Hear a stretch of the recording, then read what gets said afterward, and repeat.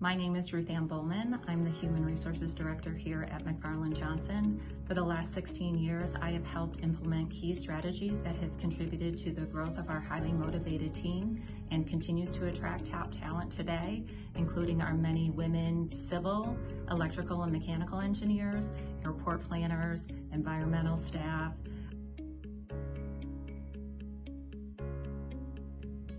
I take particular pride in the fact that women in technical roles have tripled since my appointment in 2008 and in 2023 alone our overall staff grew by 22% and we had an impressive 95% retention rate, which is well above the AEC industry standards. I believe establishing our WISDEM, Women in STEM Employee Resource Group, back in 2016 has been instrumental to attracting more women in technical roles here at MJ.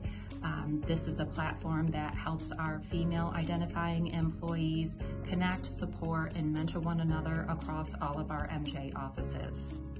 Virtual meetings enable us to meet more regularly now, and we also host an annual in-person event that is focused on enhancing the educational and career opportunities for women here at MJ, as our overall training budget is currently three times the industry average.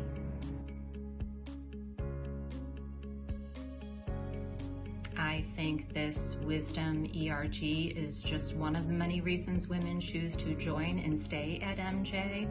Um, we also provide a generous paid parental leave benefit that enables employees, regardless of gender, to receive three weeks of paid time off to care for newborns or newly adopted children without having to use their PTO. When implementing our generous pay time off policy, I also advocated for full disability pay to be provided by MJ, which recognizes the importance of supporting employees at the time of illness or injury. But combined with our paid parental leave, it provides full pay for maternity leave up to 12 weeks, depending upon an employee's years of service and type of delivery.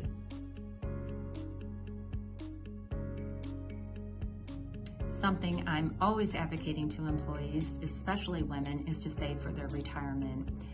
Eligible new hires receive 100% match from MJ to their 401k from their very first contribution up to the first 3% of their total compensation, including our very generous annual bonus. On top of that, they receive shares of MJ stock each year through our employee stock ownership plan.